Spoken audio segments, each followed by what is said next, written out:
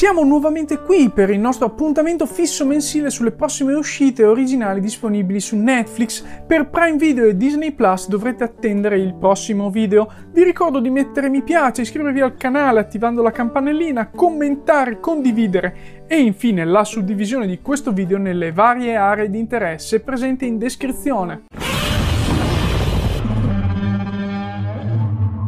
A proposito delle uscite Netflix, ve la siete vista la mia recensione sulla serie The Liberator? Questa serie è uscita questo novembre e per me merita una possibilità, ma per le info recuperate anche dal link in descrizione cosa ne penso.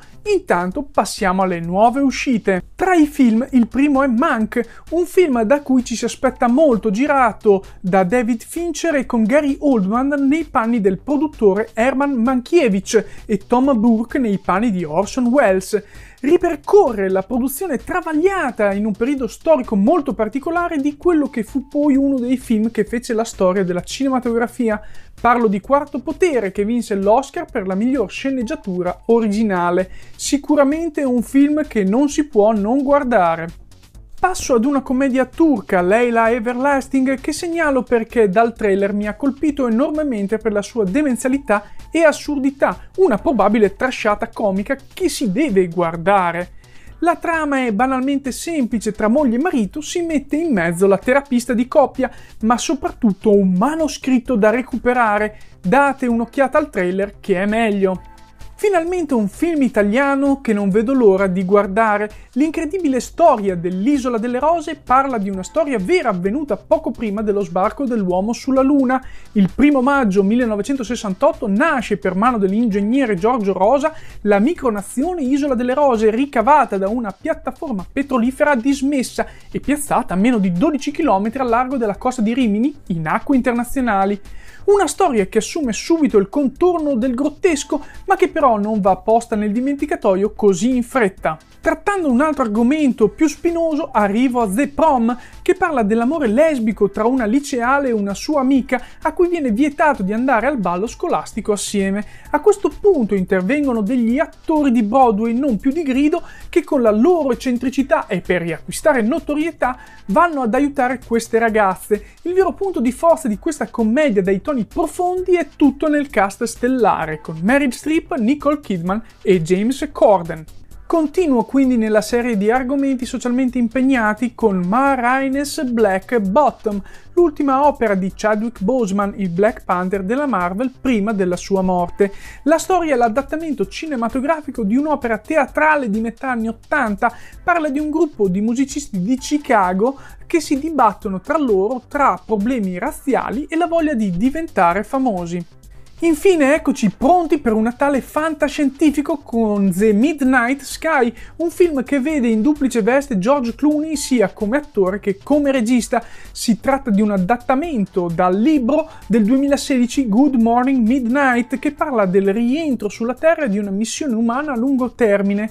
Uno scienziato in Artide, intercettando i tentativi di comunicazione degli astronauti con la Terra, deve tentare di fermarli dall'atterrare. Infatti sulla Terra è avvenuta una catastrofe e loro sarebbero in pericolo rientrando. Buon Natale!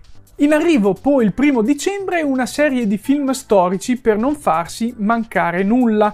La combo dei Ghostbusters, Glory, I Guerrieri della Notte, La Storia Infinita 2 e passando all'animazione City Hunter, Private Eye, Voglio mangiare il tuo pancreas, L'autostrada dei pinguini e Teen Titans Go, il film, quest'ultimo in arrivo però l'11 dicembre.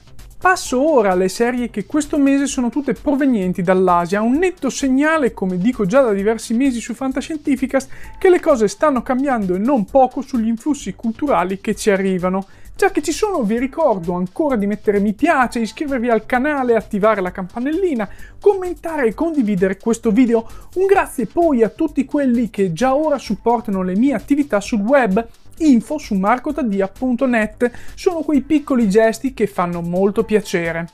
Passiamo però alla prima di queste serie, Private Leaves, serie sudcoreana, meglio specificarlo visto che al nord magari non sarebbe futuristica, in cui si immagina una società del futuro in cui non esiste più la privacy e tutti i dati delle persone sono in mano alle società e al governo.